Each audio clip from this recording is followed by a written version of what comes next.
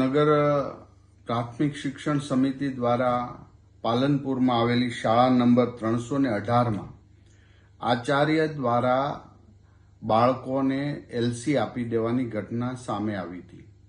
અમારા નગર શિક્ષણ સમિતિના અધ્યક્ષ ભાઈ શ્રી કાપડિયાભાઈ અને સભ્ય બેન શ્રી સ્વાતિબેન સોસા ની જાગૃતતાથી આજે તેઓ શાળાએ ગયા હતા અને એ ધ્યાન મારા પર, મારા ધ્યાને દોરવામાં આવ્યું હતું કે આ પ્રિન્સિપાલે ગરીબ બાળકોને એલસી આપી દીધા છે.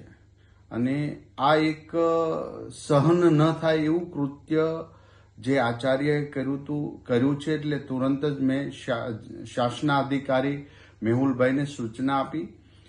જિલ્લા શિક્ષણ સમિતિના નગર પ્રાથમિક શિક્ષણ સમિતિના અધ્યક્ષ કાપડિયાભાઈ સાથે રહીને એ આચાર્યને બરતરફ કરી દેવામાં આવ્યો છે. સીઆરસી, યુઆરસી અને નિરીક્ષકને કારણદર્શક નોટિસ આપવામાં આવી છે અને આ એક એવો દાખલો બેસાડવાનો છે, કારણ કે ભારતીય જનતા પાર્ટીની સરકાર દ્વારા એક એક બાળકને આઈડેન્ટિક કરીએ છીએ અમે. અને એક પણ બાળક શાળાથી વંચિત ન રહે એની દિવસ રાત ભારતીય જનતા પાર્ટીના કાર્યકર્તા અને અમારી ટીમ પ્રવેશ ઉત્સવ કરે છે.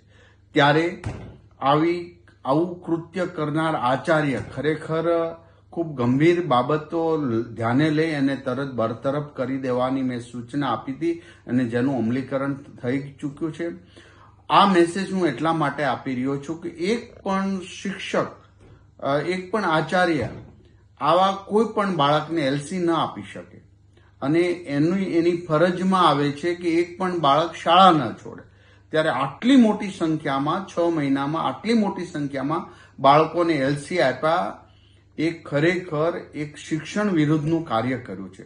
આ ક્યારે પણ સાંકી લેવામાં આવશે નહીં. એની કમિટી બનાવવામાં આવી છે. પૂર્ણ રિપોર્ટ આવ્યા પછી કાયમિક માટે આચાર્યને એને પદથી દૂર કરી દેવામાં આવ્યા છે. અને યુઆરસી, સીઆરસી અને નિરીક્ષકને પણ આ ધ્યાન નથી રાખવા બદલ પણ કારણદર્શક નોટિસ આપી છે.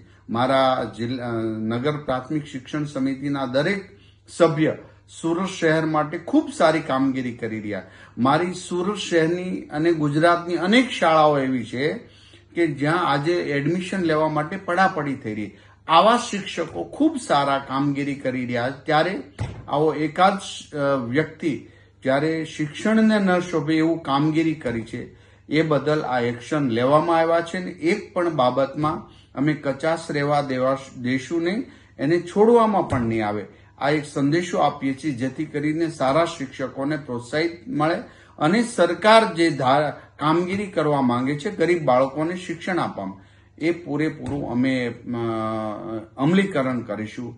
ફરી વખત આવું કૃત્ય કરતા દસ વાર વિચારશે એટલા માટે આ કડક ડિસિઝન અમારે લેવું પડ્યું છે. અને લઈને એનું અમલીકરણ અત્યારે ને અત્યારે રાત્રે